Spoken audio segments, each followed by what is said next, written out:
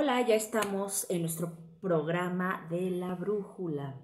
Y el día de hoy vamos a hablar de un tema muy interesante porque vamos a eh, hablar justamente de biodescodificando mi árbol por orden de nacimiento. ¿Qué quiere decir esto?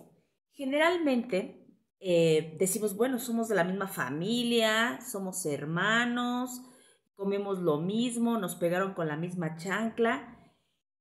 ¿Por qué somos tan distintos? Si nos dieron la misma educación, nos fuimos a la misma escuela. Entonces, ¿por qué somos diferentes? Bueno, justo por el orden de nacimiento ya traemos por ahí unas herencias. Herencias eh, que venimos arrastrando por nuestro árbol por quienes hayan sido nuestros dobles generacionales.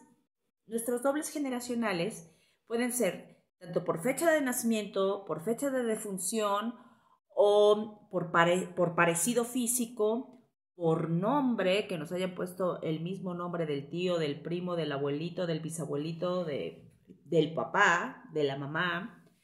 Eh, y todo eso, de alguna u otra forma, son datos que venimos cargando, que venimos em, pues representando en actos, en, características en esta vida.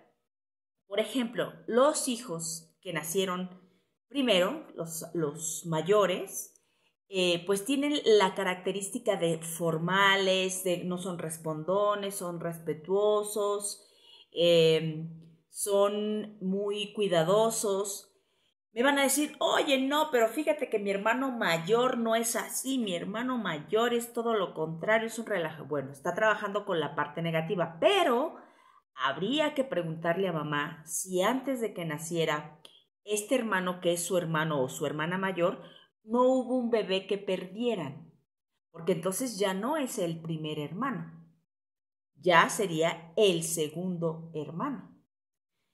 Entonces se queda con la responsabilidad del primero, pero a lo mejor no está de acuerdo. O murió un hermano, el hermano mayor, y el segundo se queda con la responsabilidad del primero, pero pues obviamente no es su responsabilidad.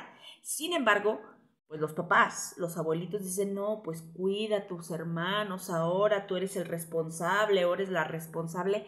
No, error. O el papá está en lecho de muerte y al hermano mayor le dice, te encargo a tu mamá, te encargo a tus hermanos, ahora tú vas a ser el hombre de la casa. Error. No tenemos por qué cargar con responsabilidades que no nos competen.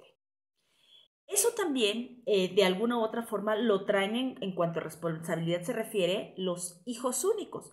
La diferencia es que los hijos únicos son extremadamente inteligentes, son muy independientes, son mandones, son les gusta dar órdenes porque no les gusta Em, pues obedecer de alguna u otra forma. Se sienten con la necesidad de tener los reflectores frente a ellos, tener el reconocimiento del papá, de la mamá, de los abuelos, de los eh, amigos. Y si no hay ese reconocimiento, el hijo único sufre mucha frustración.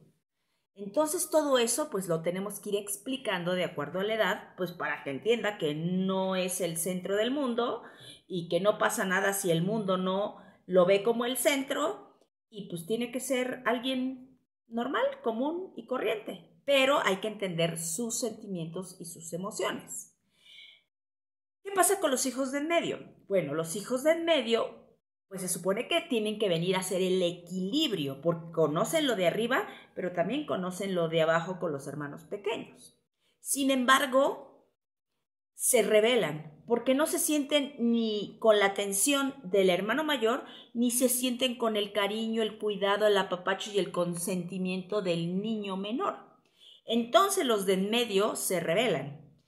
Eh, son eh, personas que estudian muy bien la situación de su alrededor y conocen perfectamente bien las conductas que puede tener mamá, papá, hermano mayor, hermano menor, el abuelito, la abuelita, porque los tienen perfectamente estudiados en el sentido de que a ellos les interesa ver las diferencias del trato que hay entre el mayor, el menor y los de medio que a veces se sienten así como punto y aparte. Entonces, aguas, papás, tenemos que poner atención en ese sentido. Eh, darle una atención personal a cada uno de los hijos independientemente de la posición que tengan. Porque los hijos pequeños, no, bueno, pues como ya no hay tanta presión como el que tuvo el, hermano grande, que tenía que ser el ejemplo y todo, pues se les deja hacer lo que se les da la gana. Y entonces tienen tanta libertad que si lo encausan a, la parte positiva, pues van a ser personajes súper creativos, súper ingeniosos, eh, con la capacidad de hacer una y mil cosas. Si se nos desvían de pronto por lo negativo, pues a lo mejor eh, pues se van a alguna adicción, algún problema. Pero también em, solemos cometer el error de como tú eres el más chico y como ya se casó tu hermano el grande, el de medio y el otro, te toca cuidar a tu abuelita, te toca que cuidar a tu papá, te toca cuidar a tus sobrinos. No, tampoco. No es su responsabilidad. Y a veces viene tanta frustración. Recordemos por ahí la película de Como agua para chocolate, ¿no? Tita, tú no te casas, tú tienes que cuidar. Y muchas veces carga la responsabilidad a los menores de asuntos que ya no quisieron cargar y que no tenían por qué cargar los menores o los del medio.